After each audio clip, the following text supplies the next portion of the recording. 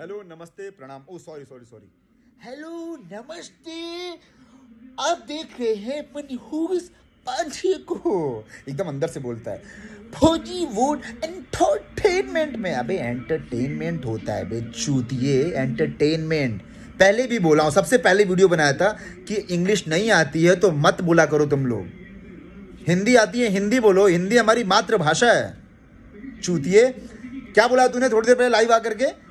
कि वो चूतिया विशाल सिंह जब आकर के बोला था कि खेसारी लाल को नहीं जानता है, तब किसी ने कोई कुछ क्यों नहीं बोला? तो मैं तुझे एक बात बताना चाहता हूँ कि मैं सच में तेरे छोटे जीजू को नहीं पहचानता था। बिग बॉस से पहचाना हूँ कि वो बिग बॉस से आकर के जब निकला था, कुछ नहीं किया था तो मुझे पता चला था कि अच्छा एक भोजपुरी इंडस्ट्री का कोई आया था जो बिना कुछ किए आया और बिना कुछ किए चला गया। समझ आया? मैं नहीं जानता था। उसके बाद जब भैया पे उसने वीडियो बनाया, ये सब बोला तो मुझे सामने आया, मेरी चीज़, बातें सामने आई कि अच्छा ये वही है जो बिग बॉस में आए थे।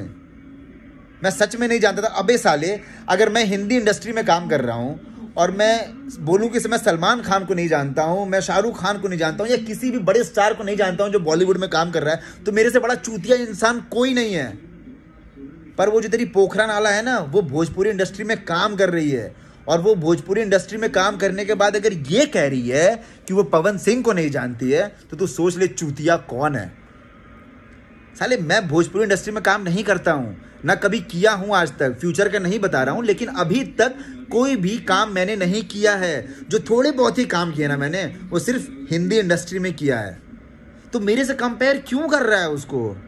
और क्या बोला तूने कि सलमान ये आ, पवन सिंह कोई सलमान खान, शाहरुख खान, डॉन है क्या? हाँ साले, वो भोजपुरी के सलमान खान हैं। तो इस बात को मान, समझा?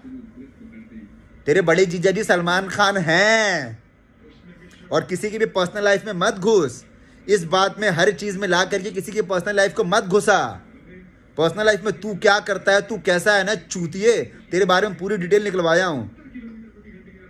तू जिस दिन मिलेगा ना उस दिन सारी चीज़ों के साथ तेरे सामने खड़ा करके ना थप्पड़ थप्पड़ मार मार के बताऊँगा कि तेरी पर्सनल लाइफ कैसी है। चूतिए साले को देखने के बाद पता ही नहीं क्या करूँगा। इस, इसके लिए वीडियो बनाता हूँ तो मन करता है कि फट फट यहाँ से।